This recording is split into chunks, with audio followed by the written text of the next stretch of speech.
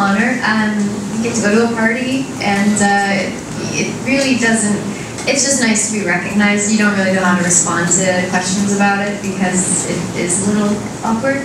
But um, they were great. I, I shot for them for an all-female crew uh, photographer, which was a lot of fun. And I'm glad they recognized us, and I think it's great for the show as well because it's a, a sexier show. Yeah. Does your fiance brag about it? Um, it depends on where we are. Right. It's mostly just with his friends. cool. Yeah, there are things. I would love to.